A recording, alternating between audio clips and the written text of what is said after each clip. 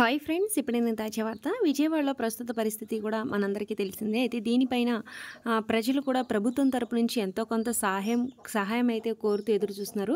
అయితే వారికి చంద్రబాబు నాయుడు అయితే వరద బాధితులు ఎవరు కూడా ఎదురు చూడొద్దు. మేమైతే ఎటువంటి సహాయం చేయలేము అంటూ ప్రకటన కూడా విడుదల చేయడం అయితే జరిగింది. సో వీడియో ఇన్ఫర్మేషన్ అంతా కూడా తెలుసుకుపోయే ముందు వీడియో మీకు నచ్చితే లైక్ చేయండి. అలాగే మన ఛానల్ని సబ్స్క్రైబ్ చేసుకోండి. ఈ వీడియోని స్కిప్ చేయకుండా చివరి వరకు చూడండి. ఇక లేట్ చేయకుండా మన అసలు వీడియోలోకి వెళ్ళిపోదాం. ఏపీ సీఎం చంద్రబాబు నోట నిజాలు వచ్చేది చాలా అరుదు. ఒకవేళ అలా వచ్చాయంటే అది ఖచ్చితంగా రాసి పెట్టుకోవాల్సిన రోజే. తాజాగా విజయవాడలో పర్యటించిన చంద్రబాబు నాయుడు వరద బాధితులకు సాయం చేయలేకపోతున్నామని ఒప్పుకున్నారు. స్వయంగా చంద్రబాబు నోటి వెంట కూడా ఈ మాటలు అయితే రావడం జరిగింది. మీడియాతో మాట్లాడుతూ వరద ముంపు బాధితులకు నిత్యావసర సరుకుల పంపిణీలో మేము ఫెయిల్ అయ్యామని చెప్పుకొచ్చారు. అయితే ఎనభై వేల కుటుంబాలకు పంపిణీ చేయాలనుకున్నాం కానీ చేయలేకపోయాం.